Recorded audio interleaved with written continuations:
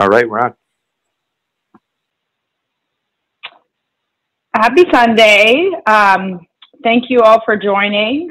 Apologies that we had some technical difficulties and we're starting 10 minutes late. Today I'd like to talk about the life of asceticism or the ascetic life. So, uh, as any good, you know, 2020 person does when you're trying to find the official definition of something, uh, the first thing I did was Google it. And so if you actually go to dictionary.com and you say, what does the word ascetic mean, ascetic mean? It literally, what I think the clearest definition is that it is a person that leads a very simple life, abstains from normal pleasures, and denies himself or, or, or herself, denies themselves. And at the core of what we're going to talk about today is God's uh, desire and uh, to teach us how to live a more virtual life by, by denying ourselves and enabling Christ to work through us as our self minimizes. So, and we're going to talk about first a uh, saint story. We're going to talk about the story of Saint Marina the ascetic, and then we're going to talk about a few verses in um, in Luke that really uh, that really go to the heart of what, what an ascetic life is in terms of the words of Christ and how you achieve it. How you achieve it. Starting with the life of Saint Marina, and I have uh, a daughter um, named Marina, so I was excited to use her as a, as an example today. Um, and I, you know, we often talk about this story, right? We often talk about Okay, and I if I were to remember what I told Marina the first time I learned the story, it was, oh, you know, Saint Marina, she was born in a really rich family. Unfortunately, her mother passed away when she was really young. And so her dad wanted to be a monk, and she uh, and he didn't know how to how to put her in a nunnery, so they gave all their riches away, and they moved into the monastery. And she shaved her head, and she lived as a monk with her dad um, you know, that uh, in the cell for 10 years, basically, until he passed away. And that's a core part of the story. And, and I think a lot of the, anytime you read the story of St. Marina, one of the first things that gets highlighted is that the, the contrast of them coming from a very rich family, giving everything away to live the monastic life, to live in a cave, and her being so extreme in doing that she shaved her head and lived as a monk. But, you know, the actually what's really really amazing about the the rest of the story is that she denied herself in every way in order to let Christ she work through her right? And so in um, and that's a really core part of what the the the essence of an ascetic life is. It is denying yourself to enable Christ. So uh, the rest of the story for Saint Marina is about, you know, after her father died, so after she'd been in the monastery for about 10 years, she left the monastery to do a few uh, errands, basically. And she went and she stayed in um, an inn. And that same night, there was a soldier that stayed in the inn. And basically, long story short, the innkeeper's daughter got pregnant. And the innkeeper's daughter didn't want to implicate the soldier because she was afraid of the retribution. So she said that it was um, the monk that had basically gotten her pregnant. So then the innkeeper goes to the abbot of the monastery and basically says, you know, this your monk got my daughter pregnant. This is ridiculous. And and so um, when the abbot, uh, you know, basically approaches Marina on this, Marina would have had every ability to deny it. She, at that point, could have been like, Look, I've been hiding this from you all along, but I'm not a man, I'm a woman. And so there's like no way I can get her pregnant. So, yeah, keep looking. But that was not what she did. She actually says, I have sinned, forgive me. That was her response.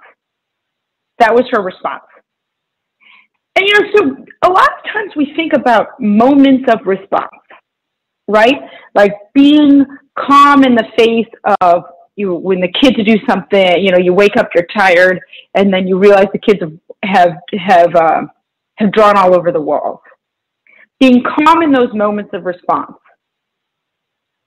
Marina's ability, St. Marina's ability to be to deny every element of herself in that moment is tr- is purely due to the true ascetic life she was living. She had she had up to that point learned to deny so much of herself, herself, not just her stuff, not just her conveniences, but also the fact that she was a woman, you know, and and just live completely at the uh, desire at the guidance of Christ. It's it's really amazing. It's really amazing. So she actually gets kicked out of the monastery for three years. But what happens? Something very good happens. She raises the child um, in a you know, and then the child eventually becomes a monk. Actually, so this child, who who knows what would have happened, right? It could have like the if the uh, innkeeper's daughter had if if this had ended up a different way, the child could have ended up homeless or on the street or who knows. But the same Marina made a very good situation out of a bad one, out of a bad one, uh, as God often transforms very bad situations into good ones. And then much, you know, eventually, like three years later, the abbot lets her back into the monastery because the other monks are feeling bad for her. Again, they still think Saint Marina's a him at this point, and but she has to do a lot of lot of chores and heavy work, and um, and it isn't until after Saint Marina's death that they uh, that they explore and understand that she was a she, not a he, and so uh, so many great lessons from the from her life and from her true asceticism here, and one of them is that you know God reveals the truth in His own time and God lets the trans lets transformation happen, even you know, uh, even when in the moments, in the periods where your the, your self denial is most important, those feel the hardest. So one of the most common verses referenced when we're talking about you know uh, living a life of self denial, living a life of, that is completely of Christ and not of yourself, living an ascetic life is Luke chapter 14, verse 33. And it says, So likewise, whoever of you does not forsake all that he has cannot be my disciple. Basically, God is saying, Give up everything you have in order to follow me. And we talk about, and you know, I think sometimes this is like one of the most scary verses in the, in the Bible in many ways, because it is all about denying all of what we want in order to truly get what we need. And often the wants and the needs are very much at odds with each other, are very much at odds with each other, right? You wake up and, um, you know, you want to, uh, I don't know, eat a big chocolate cake for breakfast, but really all you need to have a cup of coffee, go on with your day, and then maybe have, you know, a light uh, lunch later. But we what, sometimes what we want and what we need are very much at odds. Um, and so the life of asceticism is all about decreasing our wants to, to fill our needs, to fill our, our desire of satisfaction and love from Christ. And it's so interesting, right? Because there's such a movement recently, you know, with uh, minimalism and Maria Kondo and all of that for people to give things up. And one of the things she says is for any of you that have read like Maria Kondo's book on or watched any of her videos or whatever, she says to really understand what you need to keep, take every piece of clothing or in your closet, hold it up to yourself and say, does this bring me joy? And if not, get rid of it. And as Christians, we honestly truly like the the goal is that really none of those things should be what bring us joy. True joy comes from Christ. True joy comes from Christ. And so you should need and want less and less stuff, less and less of what you think is you is a is you, so that you can have more and more of Christ, more and more of Christ. So what I want to do now is like actually read the verses in Luke that come before 33. There again, 33 is the one that says, "Forsake all that you have to be my disciple. Give everything up." Because I think sometimes we think, you know, okay, I get it, ascetic life, you know, move out of my house, sell my car, and go live in a cave. Got it. I understand the lesson. I'm going to go log off and, you know, uh, make lunch. And I could say that and end the, end, the, end the session now and we'd all be good. But actually, the ability to deny self, the ability to give things up, the ability to truly understand satisfaction comes from Christ rather than from stuff and pleasures and, and, and wants and all those things requires a lot of preparation. Requires a lot of preparation. Marina, in that, St. Marina, in that moment where she's asked, Oh, you impregnated the innkeeper's wife? That is a massive moment. That is a moment of, of fire. 99% of us would have been like, deny right away. No way. Our response is to, in so many simpler things, is to deny, right? That wasn't me. I didn't do that. Oh, there's someone spilled milk on the counter. That's not me. Someone didn't put the dishes away. I didn't do that. I put my dishes away. So the fact that in such a moment of tribulation, she was able to deny herself and do what she knew was best in the longer run for Christ took was because she had been living this life of asceticism for 10 years with her dad prior to that. And similarly, in the verses prior to Christ saying, Forsake all that you have, basically, to be my disciple, he talks about two stories in order to help explain to the disciples what it means to be, uh, to truly live a virtuous life, to be a disciple. And he, the stories are first about building a tower, second about build, about going to war. So I'm going to start by reading the first section around building a tower and building a tower that is unfinished. So if you want to read in your Bible, it's Luke chapter 14, verses 26 to uh, 30 is the first section.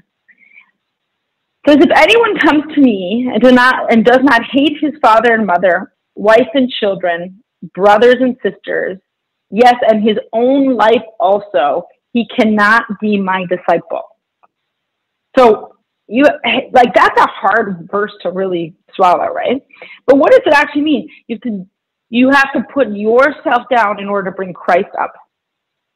Your desires, your wants, your self-reflection, self-focus in order to bring Christ up. And whoever does not bear his cross and come after me cannot be my disciple. For which of you intending to build a tower does not sit down first and count the cost, whether he has enough to finish it? Lest after he has laid the foundation and is not able to finish, all who see it begin to mock him, saying, The man began to build and was not able to finish. So whenever I read these verses, I actually think of like when I was in Dubai two years ago. Then you drive around Dubai, and I love Dubai. I'm not putting Dubai down, but you drive around Dubai, and um, there's a lot of massive skyscrapers that are unfinished. They built maybe the uh, you know the metal shaping, and then they built a few floors and then stopped and it was this desire i think that represents like this desire for such an opulent place opulent places. But the lack of truly counting the cost of what will you need to finish it. And so god is saying you have to count the cost. You have to think through if you start something what's it going to take to finish it. You have to be prepared the second story that Christ says to the disciples is about going to war.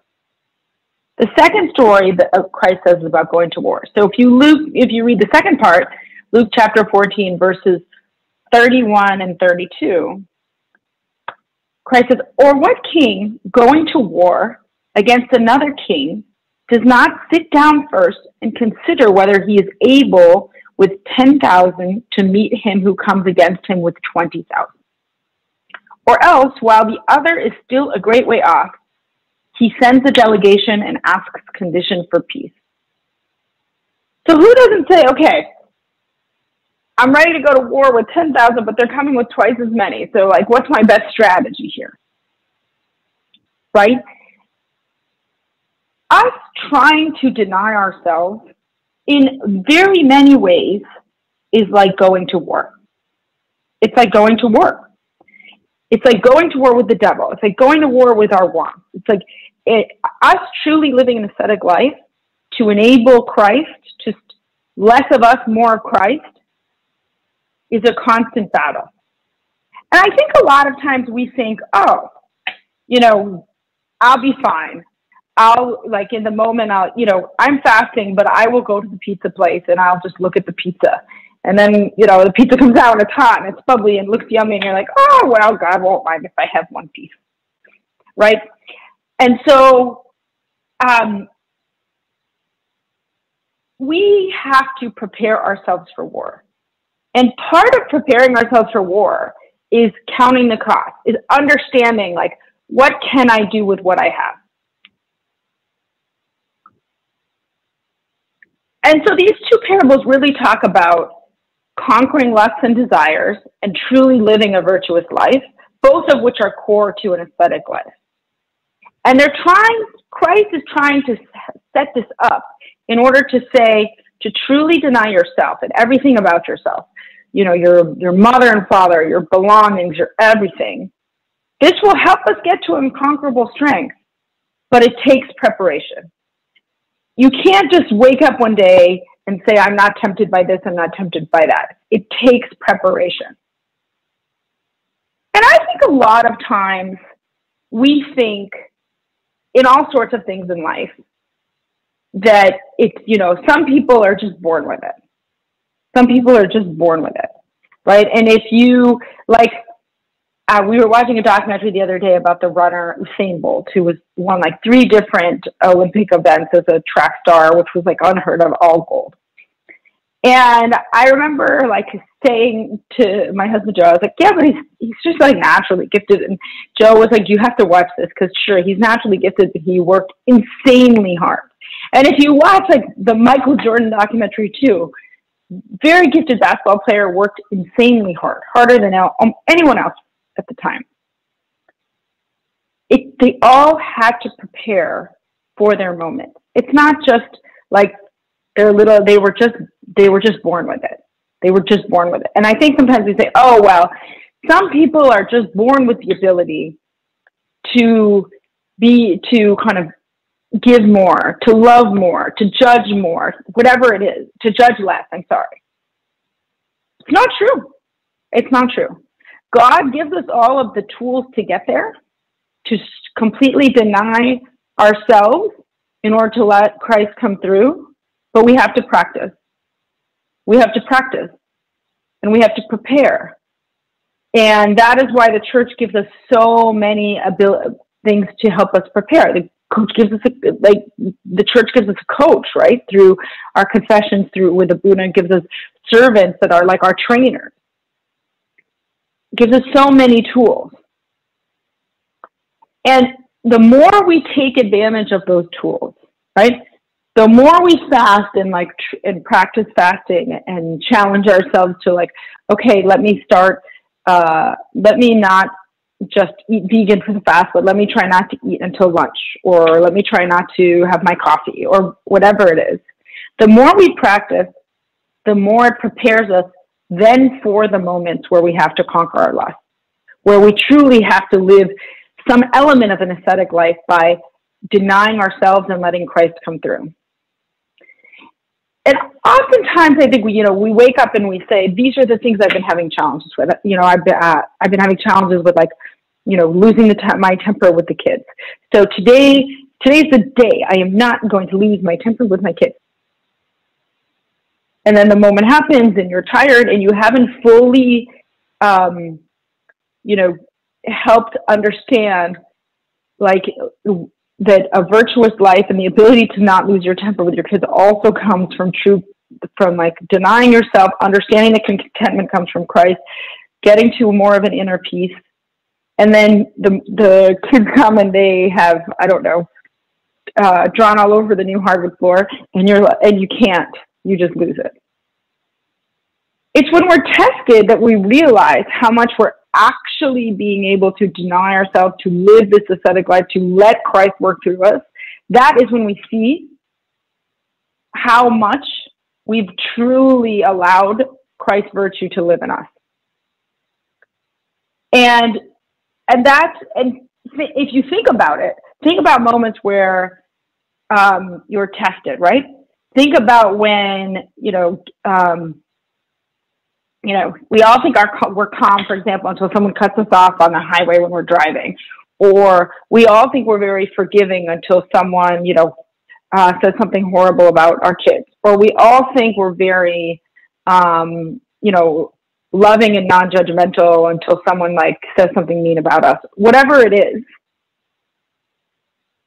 it's when it is the ascetic life, the regular practice and preparedness of self-denial, the counting the costs, the preparing for war, that is developed over years of discipline and is tested in moments.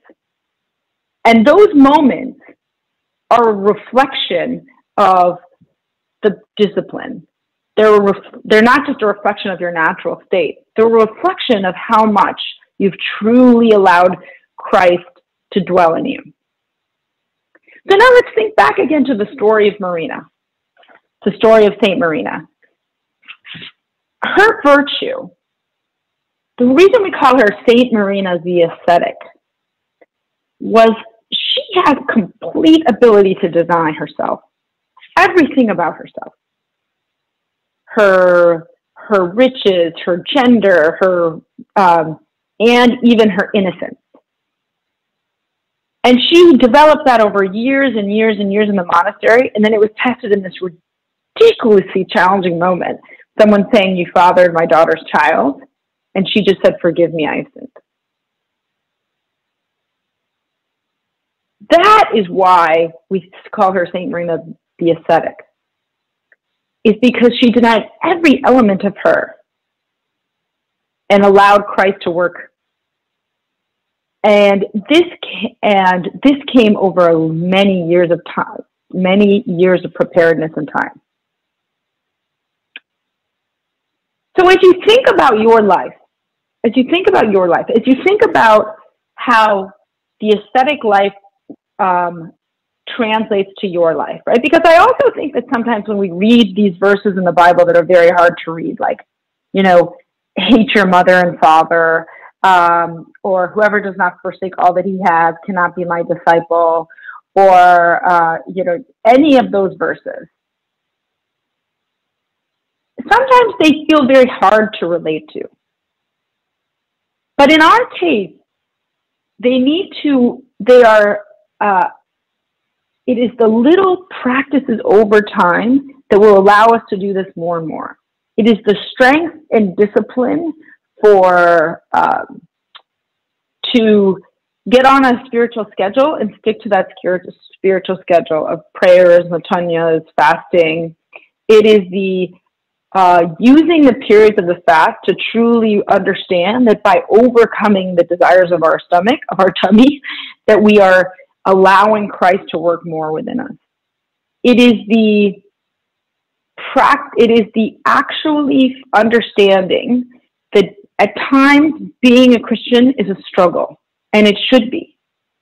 And if it isn't, then we are not allow we are not going through the fire of of truly allowing ourselves to reap the benefits of an ascetic life.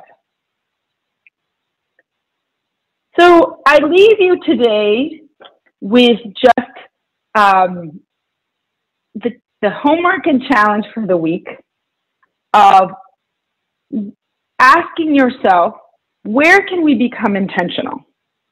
Where can we become intentional about self denial, allowing Christ to live more in us, and therefore truly reaping the benefits of a life that is less, you know, less Naveen, more Christ. Less us, more Him. And how do we from now start counting the costs and preparing for the battle that are the moments that test us throughout time. So think through places where you can be more intentional in your life. Whether it's uh, the kindness we give to, to strangers or non strangers, whether it's the forgiveness we give to those that have ch- challenged us or wronged us, whether it's the patience and love we give when you know the family is going crazy. Think about moments where we can achieve the benefits of a virtuous life through self-denial and asceticism in order to truly uh, think about the practices. I'm sorry that it will allow us to uh, manage those moments of battle and understand that it takes discipline and and and, and goals and intentionality to truly achieve uh, the the virtues of an ascetic life. Um, so I leave you today. I'll reread just uh, two, a couple of the verses from St. Luke, so we can just uh, meditate them on as we leave, as we finish.